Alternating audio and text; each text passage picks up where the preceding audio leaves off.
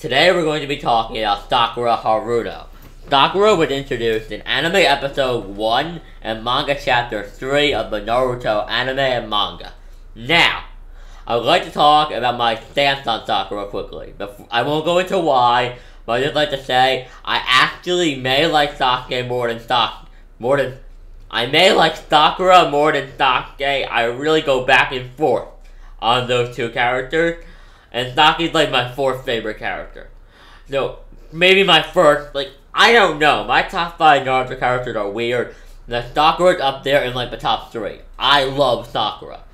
Now, I'll go and get into why later, but first I want to talk about the character. Now, Sakura's original intention was to be the keystone in the rivalry between the main character, secondary main character, Uchiha Sasuke, and main character Naruto Uzumaki. She was the heroine, but she was more so a plot device to make Naruto and Sasuke fight, and she would be a original love interest of Naruto Uzumaki.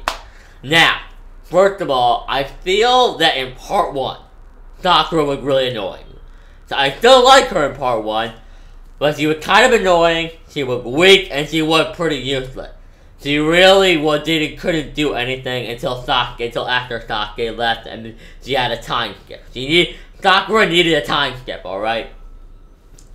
Then again, so did Naruto. Naruto was weak as shit. I'm sorry. That's just my jab at how weak Naruto was pre-time skip.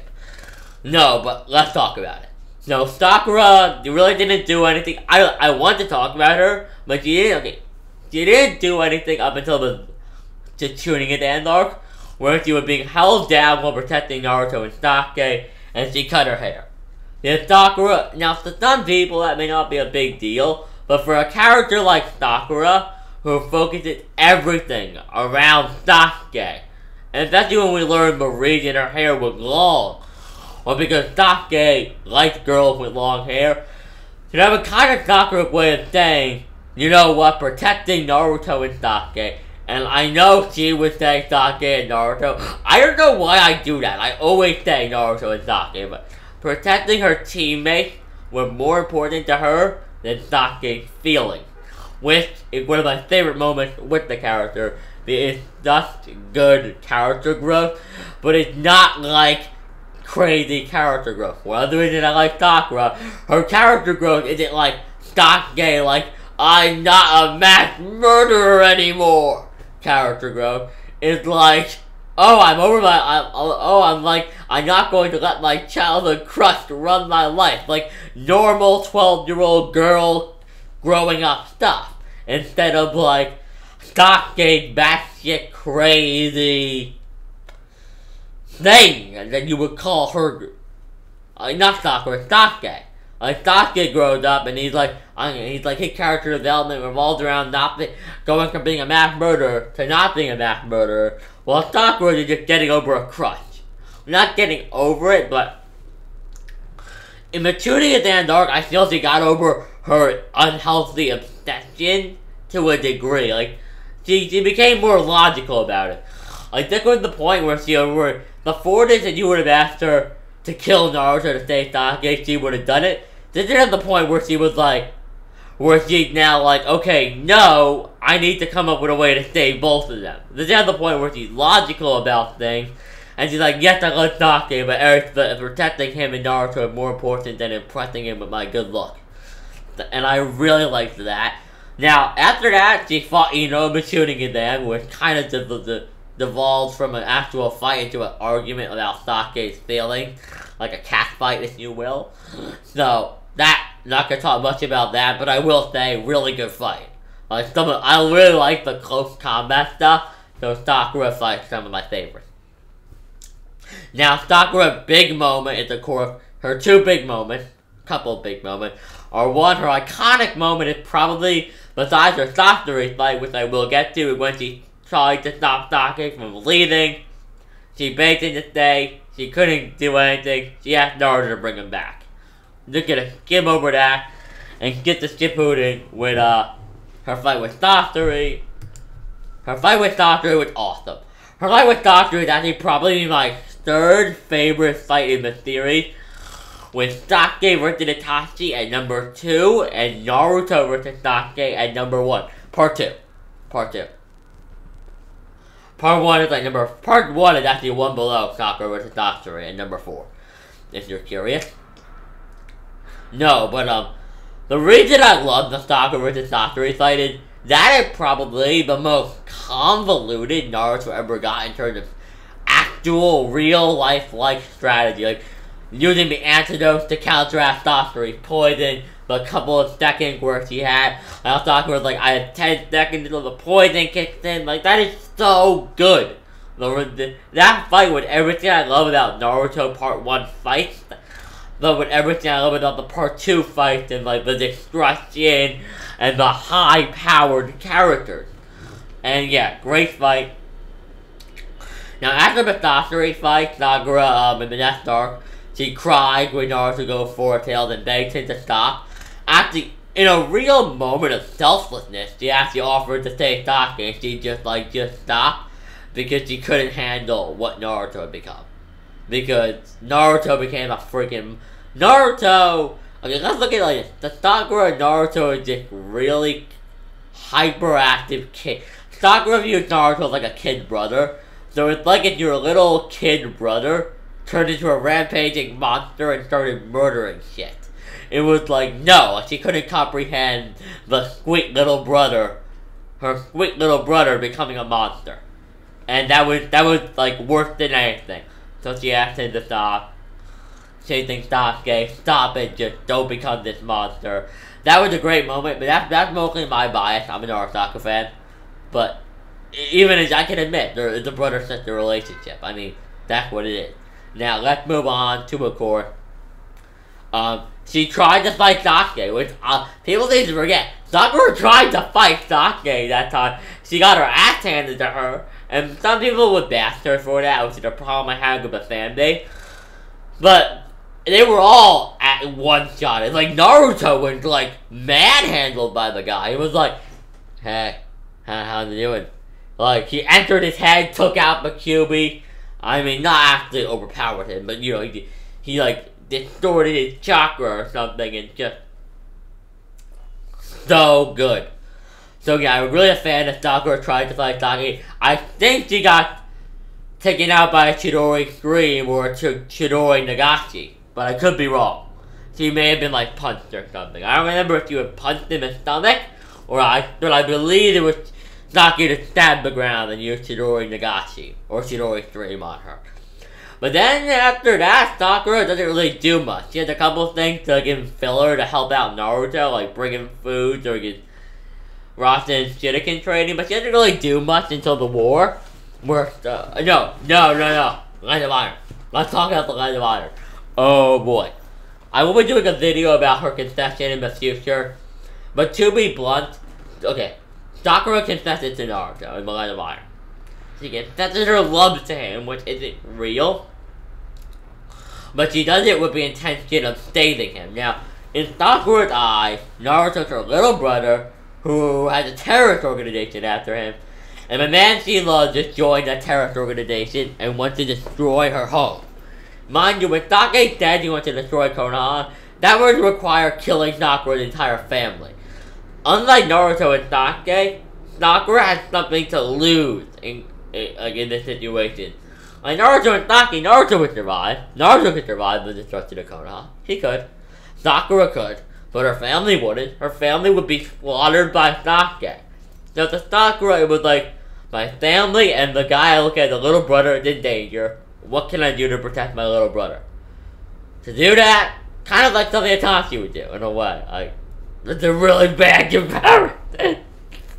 that's a really bad comparison, but she confesses her love to him because she believes that if she tells him she loves him, in Sakura's eyes, the promise between them, but only reason. It was kind of like in a mo. It, it wasn't her best judgment because she knows about the bond between them she kind of thought that maybe if she let Naruto off the hook and gave him something that worth that made it worth staying alive, worth being careful. Like if they were in a relationship, Naruto would feel a sense of obligation to her to not go and do something stupid like fight Sasuke and when he knew they would die. Or go running into Akatsuki territory just to fight Sasuke. He'd be like, listen, I have a girlfriend, I have a responsibility, like your plan to use that responsibility against him to kind of like blackmail him, I guess, into not fighting Sasuke, and that is my stance on the Sakura confession. Tell me your thoughts on the confession in the comments. They're probably negative because let's all hate on Sakura, right? No, but um, she then engaged in combat with Sakura, attempted to kill Sasuke. That failed. She was saved by Kakashi and Naruto again. During the war, she released mitotic regeneration and strength of 100. And we learned that she, in her Byakugo form, apparently, from what I understand, is able to keep up, had much chakra, had enough chakra to keep up with Naruto and Sasuke. Yeah. Did you have to understand? A creature you summon with summoning Jutsu indicates the amount of chakra you have. So that means Sakura has at least more chakra than Naruto did as a child, which was debatably more than Kakashi. I think Sakura, or Sakura is incredibly strong during the war. She gets a massive power boost. She unleashed the strength of a 100, which allows her to survive a stab from Madara Uchiha. Okay, thank God we're done with that. She ends up marrying Uchiha Sasuke, who tried to kill her like three times. Attempt to stop Sasuke from starting a revolution, and punching Kaguya in the face. Okay, we're done. Now there are two more things I want to cover here.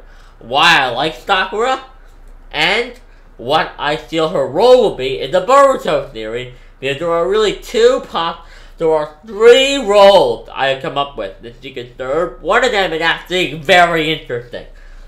How, okay, but first, why I like her. The thing I like about Sakura is that she's normal, and all of her power-ups, mean, the power she attained during the time skip wasn't through...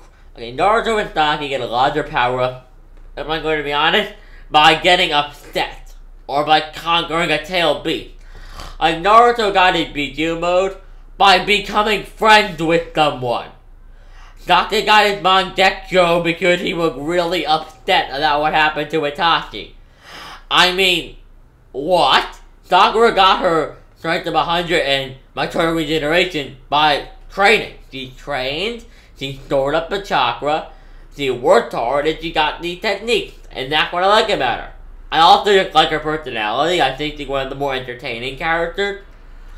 So I find her very entertaining when she's on screen. And honestly, I just really like Sakura. There's something wrong with that. I also think she's kind of hot. But that's, that's just my own personal preference. But the point is that Sakura is one of my favorite characters. And yeah. That I talked about what I like about her, why don't I quickly talk about her three, her three, maybe two possible worlds in the Boruto theory. Now, one world is the Eighth Hokage. As we know, she is equal to Tsunade, meaning she could possibly have taken over for Naruto after his death. Now, the, I don't think Konohamaru is ready. I for what he did, he had like he didn't look ready in the Boruto movie. Like he, there was nothing. To, I didn't get like a I got like a, a Kakashi vibe, not like a Future Hokage Jiraiya vibe. Like, I didn't get that. So, it's either really her, Kakashi retakes over, or Sasuke. And I don't feel they would feel comfortable making Sasuke the Hokage. I feel like I feel like what would happen would be Sasuke would be the protector, like Sasuke would be the powerhouse, but Sakura would just kind of be kind of like the emperor in Japan. Like would be like a Sakura would be a figurehead. The army would do all the fighting. Masako would just be a figurehead as she could stand for the same thing Naruto did, like helping out the citizens in the streets, doing stuff like that. Now, the other position is of course a a god, like a protector of Boruto. Like her role could literally just be to protect Boruto. Like, like, like when Sake's not around, just be like the protector of Boruto because I would have. I don't know if they had him in Japan, but I would just. I can definitely think Sakura feeling like a godmother kind of role. So having that kind of role to Boruto, like giving him advice. You know, like if Sasuke, not like if Sasuke happened to be dead, she could be the one that he goes to and he'd be like, my biggest. He not the bias. Sakura gonna tell him the truth. Like, if he wants the honest to God truth about something relating to his father, or if he needs to know something that Hinata doesn't, Sakura probably knows. So she, she, she, not gonna go, Hinata probably isn't gonna tell Boruto straight up, your father was a complete and utter loser. Sakura would straight up be like, your father was a loser, he was annoying, and nobody liked him. Like, Hinata wouldn't probably call Naruto annoying because she didn't find him annoying, but let's be honest, he was annoying. And if he needs unbiased, clear fact, I can definitely see Sakura giving it to him and feeling like a godmother kind of role. Because she's, her and Naruto are practically family, so that's probably the role she's been playing in his life up until this point. Now, another role I thought of was, if Naruto and Sasuke are dead, Sakura may be looking for the next reincarnation of Ashura and Indra, and her goal may be to make them be friends. Like, that may be her goal. Like, find the next reincarnations of Indra and Ashura, and make sure they turn out being friends. You know, because there are traits in them. Like, you can normally, you can probably tell by the time they were 12 who they were. By the time they were, like, beating each other up on the playground, like, you can probably figure out who they are. So find the reincarnations and use them. And, you know, or maybe protect them. Like, maybe they already found them and Sakura making it her job to, like, protect them. Because now that it, this became, I would assume this is, like, knowledge that exists now about history of Hagoromo, Indra, and Ashura.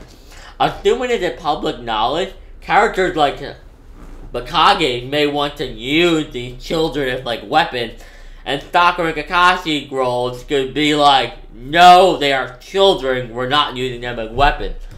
But yeah, I mean, that's really all I have to say. I mean, I could go on for hours about how awesome Sakura is, but I'm not going to. I also do think Kage level. I'm going to say that now. But it's something that's, I thought she was Kage level before the Boruto movie. After the Boruto movie, the fact that she can do things Tsunade couldn't, yes, she's Kage level. But guys, I hope you enjoyed this video where I talked about Sakura Haruno. Tell me your thoughts on Sakura in the comment section down below. Like the video if you enjoyed. And subscribe for more videos. This is One Piece Nation signing out. Next week will be another Straw Hat, by the way. So yeah, and the following week will be Uchiha Sasuke. But you know what, actually? I don't know if these are going to be weekly. But these are like 20 minutes and they take a lot. I have to make a thumbnail for them and I don't know if these will be weekly because I need to have the energy. I'm really tired a lot and I would need to have the energy to sit down and talk about the character for 20 minutes, which is tiring. And plus all the other videos I have to make, these are incredibly time consuming. We gotta spend like 18 minutes on this. So yeah, like the video if you enjoyed. Tell me your thoughts on Sakura in the comment section down below. And subscribe for more character discussion videos like this. Have a great day, guys.